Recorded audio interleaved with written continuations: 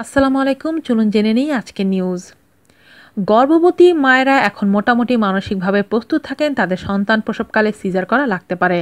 ঢাকা নগরীর মতো জায়গা যেখানে প্রসূতিবিদ্যার সবচেয়ে বড় এবং অভিজ্ঞ চিকিৎসকেরা কর্তব্যরত, সেখানেও এখন সিজার একটি অতি সাধারণ ব্যাপার হয়ে দাঁড়িয়েছে বর্তমানে। এমন একটি সময়ে স্বাভাবিক প্রসবের মাধ্যমে এক মায়ের গর্ভে তিন সন্তান জন্ম নিয়েছে। অভয়নগর উপজেলার রাজঘাটের বাসিন্দা রাজীব সর্দারের স্ত্রী জুরি বেগমের গর্ভে অভয়নগর উপজেলার স্বাস্থ্য কমপ্লেক্সে এ ঘটনা ঘটেছে। একসঙ্গে জন্মলাভ করা তিন সন্তানের মধ্যে দুজন মেয়ে ও একজন ছেলে। নবজাতকের দাদা ও দাদি নবজাতক তিনজনের নাম রেখেছেন ফাতেমা, আয়শা ও হুসাইন। তিন সন্তানের পিতা রাজীব সর্দার ও স্ত্রী জুরি তিন সন্তান একসঙ্গে পেয়ে বেজায় খুশি। তারা সকলের কাছে দোয়া কামনা করেছেন। দায়িত্বরত সিনিয়র নার্স বেবিরানী বিশ্বাস জানান, সকলে সুস্থ আছেন।